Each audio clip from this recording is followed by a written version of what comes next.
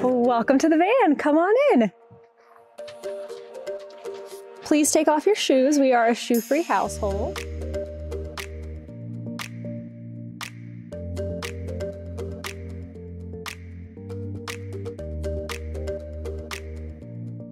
Let's start here in the kitchen. She is small, but she packs a punch. We have our silicone dish mat right here because we hand wash all our dishes. We don't have a dishwasher. But underneath is a an electric cooktop, which we cook all of our meals basically here in the van. We also have a lovely sink. This little thing right here, you can take out to use the sink, but then it's also there if you want extra counter space, has little slots in it. So when the water drips, it just falls through instead of sliding all the way down your counter. We also have a nice little spice rack that came with the van, which is very, very handy. This is not a kitchen thing, but uh, we do have an uh, like a home Wi-Fi. A lot of people asked where do we get internet from? We just have regular Wi-Fi, like you would have at your house. It's T-Mobile. We also have uh, AT&T hotspot and a Verizon hotspot. So if there's internet in the area, we're pretty much covered. Now below our kitchen, we have all of this drawer space, which is really fantastic. In the first drawer here is where we have all of our utensils. We have six spoons, six knives, six forks. That pretty much gets us through. And then all the other things you would normally have in your kitchen, we just have one of. Here in the second drawer, we have four plates, four bowls, a couple of storage containers, and a lot of like cloths and uh, hot pads and things like that. Then in the very bottom drawer, it is the deepest one. And as you can see, a little couple things get caught. Um, but we do have one pot and then we have three different pans, a small frying pan, a big frying pan, and a cast iron. We haven't actually used the cast iron yet. I think we thought we'd be cooking outside more, but we just haven't done that. Um, right here, we have a cool little pull-out drawer like this, and I have my Tulle Kitchen Scrubbies that I use to wash all of the dishes. Also, this is very important because this blocks the sink, which means I can actually block uh, things here in the sink. Like I can put this in, it keeps the water from draining, and that's how I block everything. I actually need to block some socks today. And then this drawer is really awesome. It's like a divided drawer. This little trash can came with the van and we just have little trash bags that we put in it. Um, most of the time, if we have big trash, we just hold on to it and like find a gas station or something to put it in. And, I, and by big, I mean like a takeout container. That way we can go a couple of days without having to empty this out. I have cleaning supplies and also Toaster's dog food, but we put extra dog food elsewhere. I have to kick Kent outside to show you our fridge and microwave. So we do have other ways to cook. We have a microwave. It's actually a pretty decent size. Like we made a bag of popcorn last night. I could not do that in my college microwave.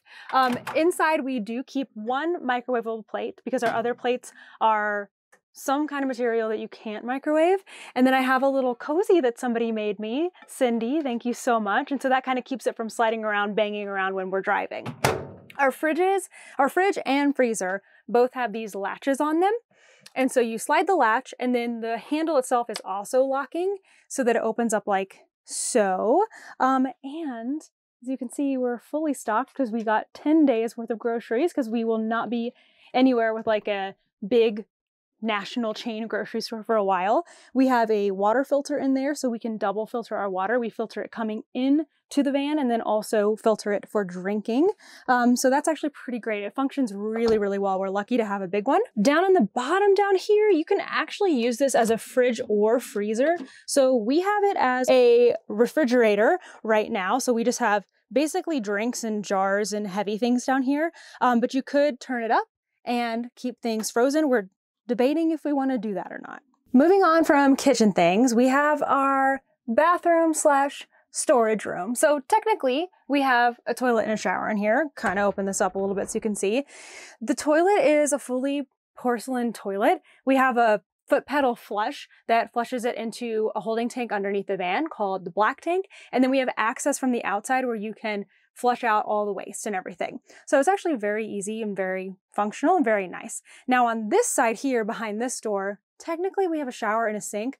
This sink is the smallest sink I've ever seen in my life and we have not used it. We also don't use the shower. It's one, we're using it for storage, but two, it's just really small and like we need to reserve the water for other things. So we will shower at campgrounds or Planet Fitness is one of our favorite places to go to work out and shower. So we just kind of manage that. So instead, we use this space to store all of the hoses, cords, our toiletries, and our dirty laundry.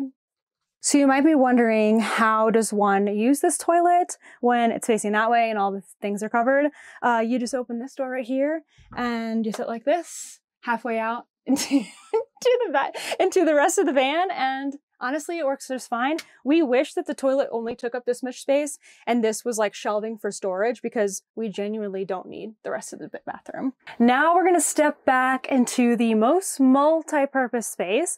This is the living room slash office slash bedroom. So lots going on here. Um, if you don't have a dog in the way, this is Toaster, by the way. Um, this is a nice bench seat. There's actually three seat belts back here, so if we did need to have multiple people riding, we could. It is very, very bouncy though, so not the greatest. Something super cool we have are these tables that lift up and down. Kent has one and I have one. So they lift up and down. They also swivel around, so I can bring it all the way back here if I want to sit here, or I can usually I sit here on the side one. Toaster takes up all this space and Kent sits here when we're working. Uh, they're also very nice to have for eating and sometimes if I need like an extension of the countertop for the kitchen, I'll set stuff down on this one right here. Okay, so the way this works as a bed is this whole thing actually lays flat. It's electronic. It just goes all the way down. We have some mattress toppers here in the back that we lay out. And then these two tables fit down here. These cushions come together. It sounds complex. It takes us like maybe five minutes every single night, but it all, all in all, when it's all done, it's a queen size bed and it's actually very, very comfortable. One more thing, come back here. Um, Toaster squishing me, but uh, we have a TV, which we didn't think we really needed, but it has been really nice. You pull this down and then it actually comes out so we can kind of angle it however we need it. It even can go all the way out to like face you, I guess, if you're cooking in the kitchen or in the front or something. Um, but we do use it quite often to watch things like Fallout, what you're watching right now. We have a couple of little knitting related things that have made a homey little touch. So actually the first thing that we got is down here on the floor. You want to crouch down with me? Should I pick it up? So this right here is our little like kitchen rug. It is an alpaca placemat that I got at a farm in Tennessee. So they had like the big rugs and I knew that wasn't going to work. So I decided to get this little mini one and it just makes it feel kind of homey, even if it slides around and Toaster goes running and slides off of it all the time. It's still great.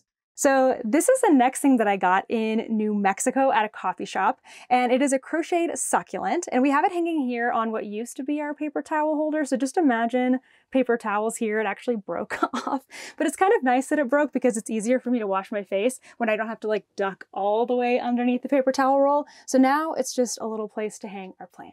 One of the newest things that we got is this beautiful heart that my friend Charles knit and sent me. And we just hung it up right here on one of our drawers and it makes me think of him every day and miss New York. Over here I have my animal lineup. So the first is my little alpaca that I got at Bliss Yarns. And this is actually alpaca, so it's so soft. I love it.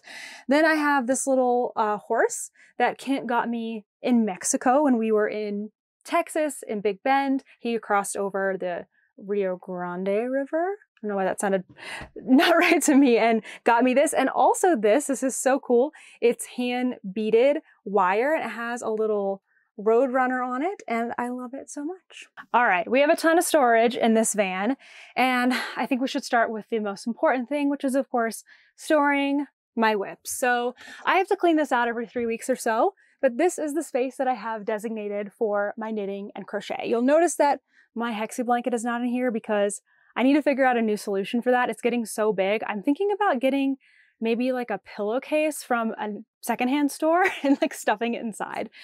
Anyhow, um, I have a lot of projects in here. I have my everyday reading project in my book bag. I have my hiking project in my uh, chalk bag from Cotopaxi. And then I have just a lot of other things that I'm either going to be starting soon or working on that are in here or yarn ready to do things. I also keep my Kindle holder or my book holder in here because I love to sit at night and like put it in here or in the morning. Have my book holder in there. And then in this basket, I have scraps, but also wool wash. I have a lot of wool wash all of a sudden. And then last thing here is my needle and notion storage. I can keep a ton of stuff in here. It's so compact and I have everything that I need.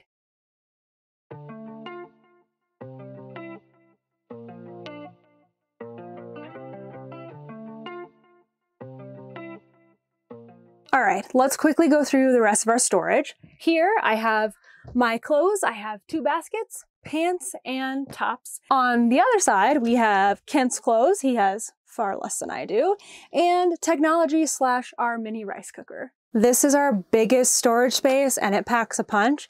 In the top, we have food pantry storage. In the middle, we have like medicine, sunscreen, toilet paper. And then in the very bottom, we have our camera bag. And then this is my toiletry bag. So when we're like staying at a gas station or even at a campground, I just grab this and then I can go in and get ready for the day. Almost forgot about this one. This is our like real pantry. It's a pretty cool drawer. We can store quite a lot of like jars and different things on it. Only problem is this thing has come, when we take a left turn too hard, it comes flying out. So you're gonna see there's a couple little nicks on that one. Right beneath the pantry, we have another set of drawers where Kent keeps a lot of his like smaller things. Like I said, socks and underwear for me and more toiletries for Kent. There is a ton of other hidden storage back here. We have crammed things into every single space.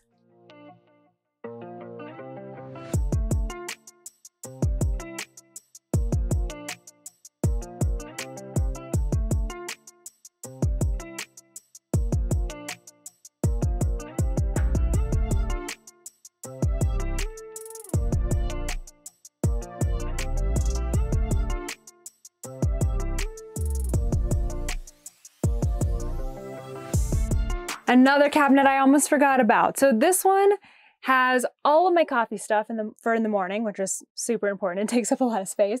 And then this is all the stuff that I need to mail things out. I'm constantly mailing things home. Whenever I use some yarn I don't finish it all up, there's nowhere to put it. So I put it in a mailer and I send it to my parents' house in Tennessee. So I have poly mailers, a shipping label printer, a scale, all kinds of stuff up there, and it helps us keep this space from filling up.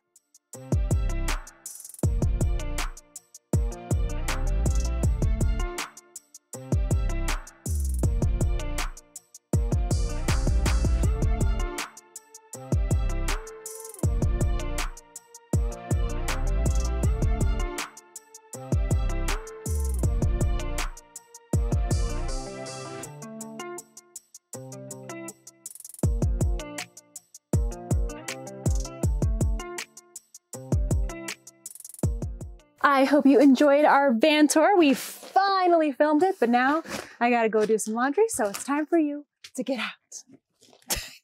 close it. Just try it. Bye-bye.